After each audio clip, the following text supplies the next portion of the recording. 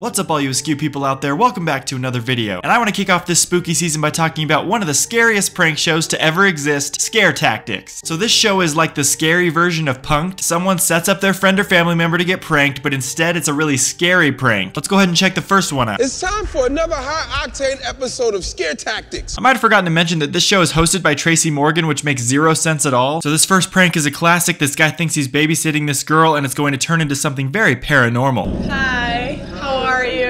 Thank you so much for coming through. I don't know if he's told you what recently what's happened with our family. Um, My daughter Gretchen passed away because she was electrocuted, and it was awful. This is Alyssa, who you'll be babysitting. She's eight, and that was Gretchen at 12. If I ever showed up to a place to babysit and the very first thing that the mom told me was that the little girl I'm babysitting's sister got electrocuted to death, that's already a bit of a red flag. Why did you bring that up so quickly? Gary, this is Alyssa. Hi, Alyssa. I'm gonna just go out for dinner with Daddy, okay? There's food in the fridge if you need anything. Did my mom tell you about Gretchen? In my opinion, there's a few too many lamps in this house. There's a lamp right here, there's a lamp right over here. We're gonna need to get to the bottom of this lamp mystery. Did my mom tell you about Gretchen? Just that she passed away and she's in heaven now. Do you think you can talk to people when they're in heaven? Of course you can. When You I just- talk to Gretchen, my mom says that I don't talk to her. I'm sure they're all around you all the time. That's Gretchen. That's Gretchen. Alyssa, I want you to play with me. No, Gretchen, I don't want to go play. Oh my gosh. Who are you? I'm Gary. What are you doing with my sister? We're just playing. I want Alyssa to play with me. Oh my gosh, I'm calling your mom. Okay, so he's clearly freaked out immediately. And the funny thing about this guy is he buys this immediately. He's like, okay, Gretchen's in the TV and she's talking to me right now. Also, I'm super sorry if your name is Gretchen out there. Nobody deserves to be named Gretchen.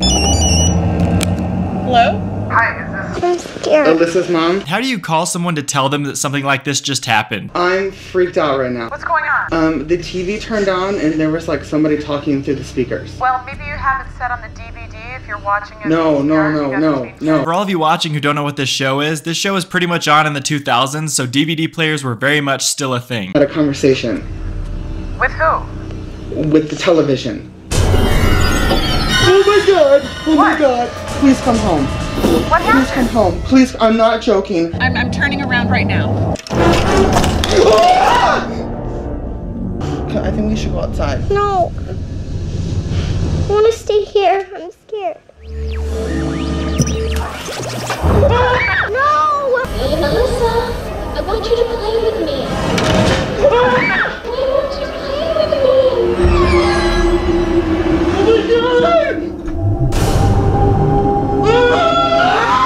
And then they have a girl with this crazy lighting on her come around the corner to look like she's dead and she's a ghost. You couldn't have paid me enough to stay in this house. I would have already been way out the door. Come on, Alyssa, we're getting the freak out. Are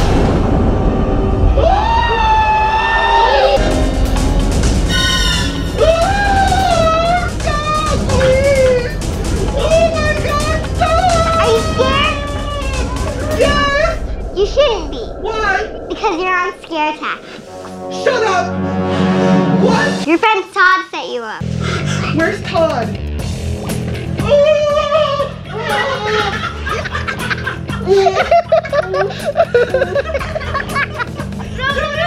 Oh! Scare tactics will also put people into situations that are a little bit more believable sometimes, but could be considered just really scary situations. There's nothing paranormal about this next scene, but this kid has taken a job at a psych ward and his job is basically just to watch the most dangerous inmate. We're a private company contracted to the state. We temporarily hold dangerous psychiatric patients here. So you guys are going to keep an eye on a detainee I have here while I'm outside taking care of a security issue. Any questions? Problems? Um, fecal throwing of any kind. I like how this kid doesn't really have any questions about the job itself other than fecal throwing of any kind. As long as you're not throwing poop at me, I'm good. You can make me do anything, but if there's poop flying in the air, I'm out. Uh, Alex, have a seat over there in front of the monitor. Ryan, have a seat there. Your job tonight is to keep an eye on this individual right here. He's going to try and get inside your head and mess with your mind. May look like a small child to you. He's a dangerous criminal. He is not what he appears to be. Look, I understand that this kid is just a 10 year old kid and he's trapped behind this glass and he's strapped down to this chair. But do not let this kid dive through the window and try to kill you, okay? Behind that 10 year old exterior, there's a villain in there. what do you think he's lined up? You first said that it would be a security issue, which means she probably did something bad. Like stealing all the Capri Sun out of his mom's fridge. And apparently said he was gonna try to mess with us, which means she might be intelligent. Right. This will be fun.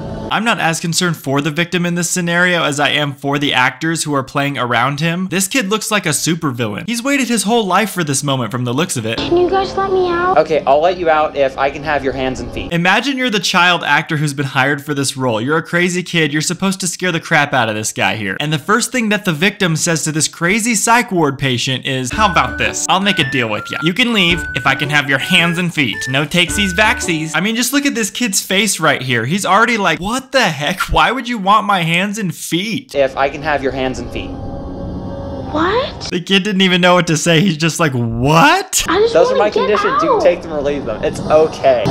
So you guys aren't gonna let me out? No. I'll get out by myself. And when I do, I'll be coming for you. I don't like this this kid. This is this is not, this is not cool. Uh, hey Jim, I really don't feel comfortable doing this. Uh, all right, tell me what's going on. I, I just don't like what he's saying. Oh, it is. It's really creepy. He can't get out of that chair, though, can he? No, he can't get out. Didn't Why think don't you go ahead? There's a door right next to the room where he's in. Okay. Uh, right behind that, there's a storage Okay. locker. Start organizing that for me. They've done the old switcheroo. We're gonna see how tough this kid is now. Jump on back in there.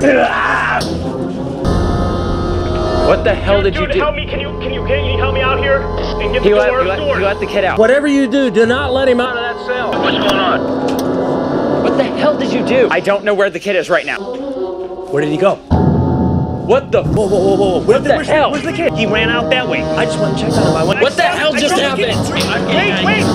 I can't handle this. Hey, you're- Can't handle this. Hey everyone, Ryan here. It seems while editing this video, I found that I might have missed the complete point of this prank. I had no idea that the prank was basically that the kid turned into the other guy. I didn't see that there were twins there. So instead of realizing the real prank of the victim being really traumatized here because he sees two people who look the same and he's wondering what the heck's going on, or that he thinks the kid's like a shapeshifter or something, instead I thought this guy was freaked out that the kid escaped and then was like afraid of a 10 year old boy. Sometimes I'm not the most detail oriented guy out there. Now that you know the context, take everything I say here with a little bit of a grain of salt because I had no clue what I was talking about. And I was expecting a little bit more to happen here, but it looks like this guy's just running away because the kid escaped. Even if the kid is crazy, it's still a kid. i'm Scare tactics, scare tactics, dude. Oh my, that is awesome. I hate you people. Go die. This next one is really crazy.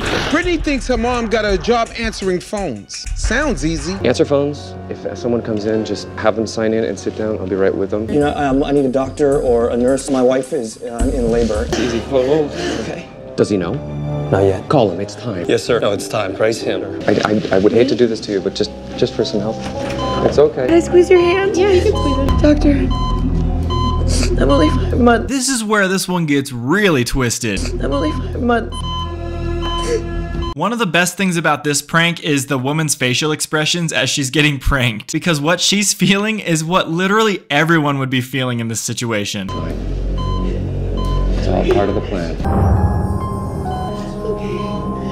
Oh my god. Who is that? Everything's He's a priest? He's a priest. This ominous figure who's incredibly tall walks up in the glass and is just standing there. And obviously they're trying to make this guy look like the devil. Where do they go? They're right outside. They're talking to the priest. This is the weirdest looking priest I've ever seen. Uh, they're right outside. They're talking to the priest who's definitely not going to sacrifice you. priest, I don't understand. You don't a priest? That's not your priest? That's not your priest? That's not my priest. No, that's not my priest. Then whose priest is it? Oh, this ain't good. And then just to make her feel even better, they all just creepily stare at her. I don't know how the actors keep a straight face. I get that they're actors. I know that's kind of the point. I wouldn't be able to keep a straight face. If I was one of the actors, this is how it would go.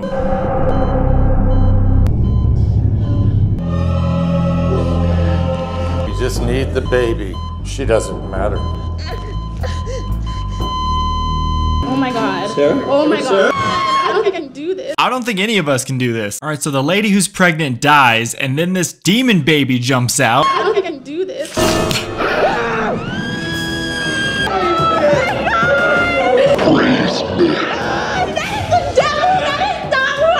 Why are you scared?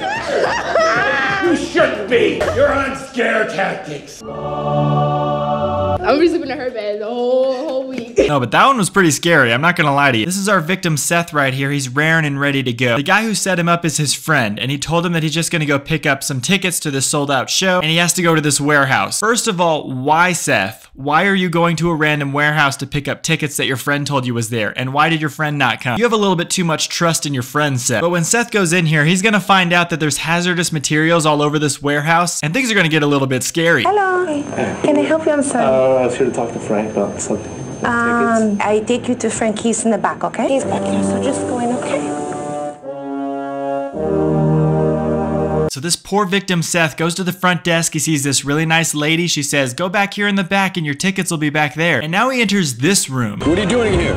What are you doing in here? This room is contaminated. Did you touch anything? Did you No, I haven't touched anything. Okay, all right. So what uh, are you doing in the room? That, so the, the secretary. Okay, this Okay, room uh, has been contaminated with the biohazardous material. This guy's freaking terrified. Why did you come in here? I didn't know. Somebody threw me in the room. all right. Here, not give me, give me, give me your shirt. Give me your shirt. I'm very sorry. There's no way you guys can get out. You have to stay in here. We must decontaminate. Take your pants off. You can stay in your lose the boxers. pants, Take your pants off and get your shoes off and your socks off. While you're at it, take your pants off. Take your pants off. Yeah, you have to take your pants off for this situation. Turn around. Turn around. You're sure you didn't touch anything? I did not touch a single thing. We need to take a reading. Take the reading. All right. Now they're gonna give him a reading to see if he's radioactive. All right, Jake, you're blowing 400 rads.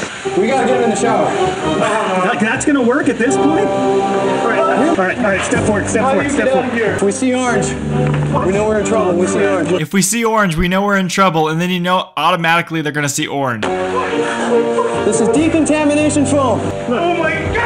This might be my favorite scare tactics prank of all time. I don't do well with pranks. I don't want to prank other people. The world's already stressful and scary enough as it is. This poor guy thinks he's going to die because his skin is turning orange. I'm getting Get the supervisor. I don't know. Uh, Get me out of here, please! we, got, we got a problem. scared? Number five. I'm a little scared, yeah. You ought to be scared. Don't tell me that, Bring supervisor. His friend walks in to let him know that he's on scare tactics, but he's so scared he can't even open his eyes right now. Hey, are you scared right now? Yes, I'm super scared. Stop this, please. Well, you should be scared. Cause you're Stop this, please, right now. Please help me stop. No, no, no. I'm trying to tell you. I'm trying to tell you you're on. Please just get me out of here right now. I'm really scared. If you'd let me talk for a second, I could just get this. Get the foam off me. I'm gonna die. I'm level 11. Oh my gosh, I love my family. I'm so scared. Dude, you're on scare tactics. Come on. Wait, what? Should be, man. You're on scare tactics, brother. Take a look at me. Oh my you're gonna die, brother. That scary girl at the beginning was really scary, but I think that honestly, this is the scariest one to me. Usually in situations where there is like a biohazard and like radioactive material, you wouldn't just be able to walk through a door and be in the room. Nonetheless, that was an awesome prank though. The last prank we're gonna watch today is disgusting. This man thinks he's going to be helping evict squatters from houses, and in actuality, there are cannibals inside. The abandoned house. This is our point of interest to start off. I had a girl I thought was reliable, came out here to hand out the eviction notices. I haven't heard from her since. This guy literally just walks in the door, and the person that he's working with goes, Hey, by the way, the person that you're replacing, we haven't seen her ever since she first came here, so I'm sure everything's fine. You, why are you in my room? Well, this actually isn't your room, sir. He's not gonna be happy. Who? The superior.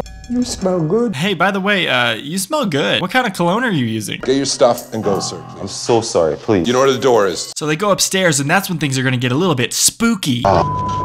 This is that girl I was talking about, Lauren. We gotta get her out. Come on, Steven, help me out. I am so stressed. Honestly, it's a pretty wholesome response given the fact that he has just seen what he has seen. Looks like a woman's tied up in the bed here. There's some weird markings on the wall. And all he has to say is, I am so stressed. What is this? What is this? Calm down. Because if you don't calm, we're not gonna keep calm. Pretty creepy stuff. It looks like there's some sort of weird cult holding her hostage. I'm feeling pretty spooked. My spook meter's at a solid 6 out of 10 right now.